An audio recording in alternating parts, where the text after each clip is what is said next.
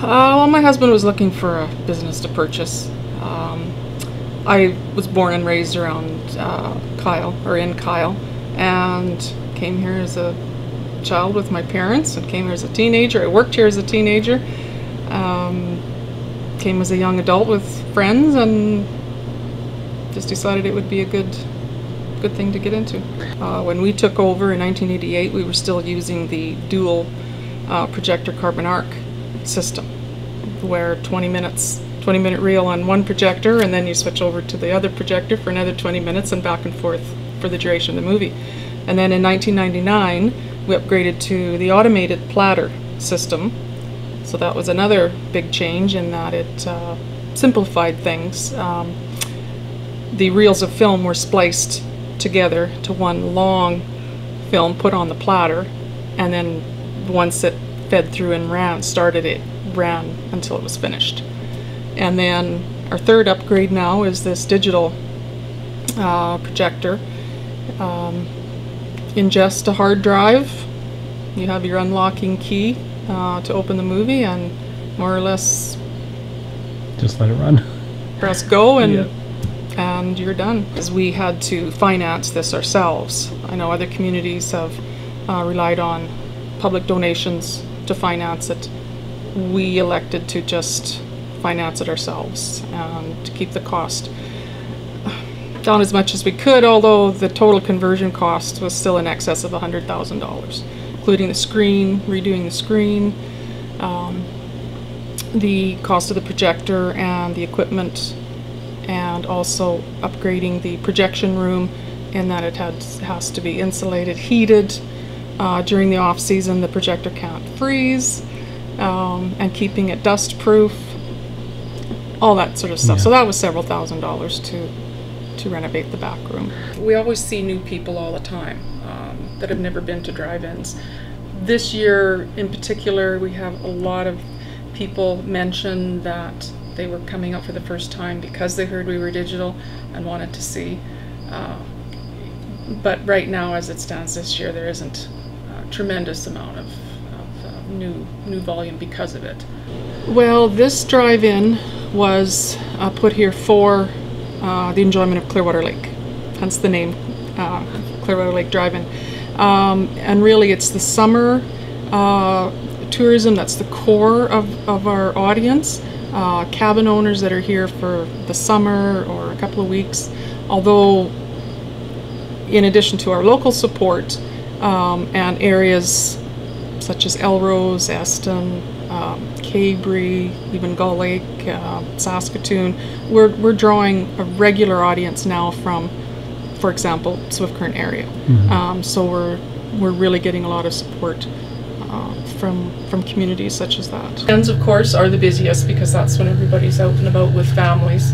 Uh, so we tend to uh, book the uh, more family-oriented uh, films. Midweeks are more or less reserved for the more uh, mature or uh, R-rated Right. uh, movies. Hi there. That's okay. Just two not adults. for me. It's not. Yeah, two adults is all you have? Yeah. Okay. Not everybody parks on this side of the building. I don't know, because the other side is better. Yeah, so I thought. Yeah, yeah. Yeah, I don't know what it Must is. be a reason. I just can't figure out why. Yeah, no, that's that's where I would be parking is over on the other side. It's a lot quieter and you're away from the headlights when people are coming in late. Yeah. Yep, Makes yep. Okay. Thanks. Hi there. Hi.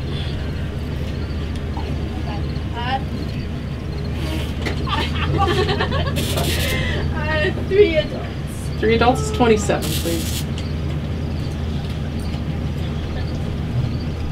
Thank you.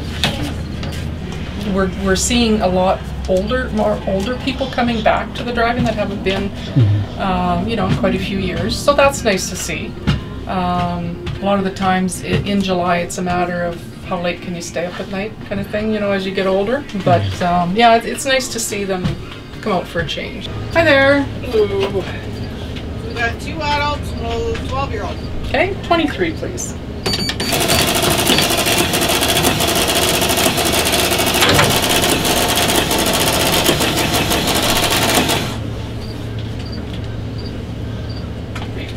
Thank you very much.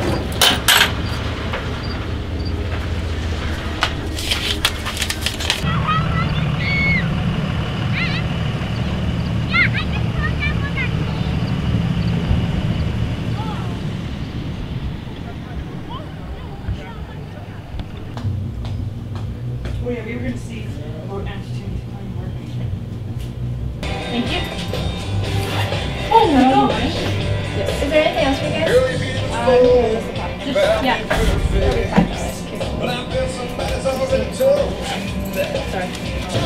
That'll be very careful, hands. Two hands and watch where you're walking. There you go. Turn. Is that everything? Yes. Because it would be your right?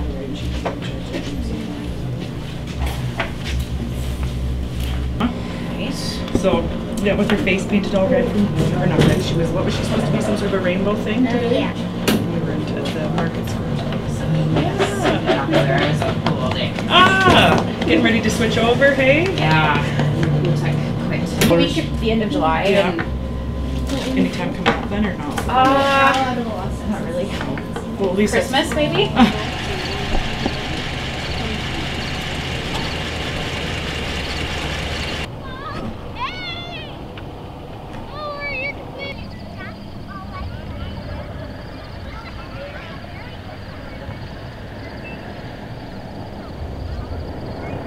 Okay, go, go, go, go! So Mr. Kabuki was using ESP to attack you and Balloon Man.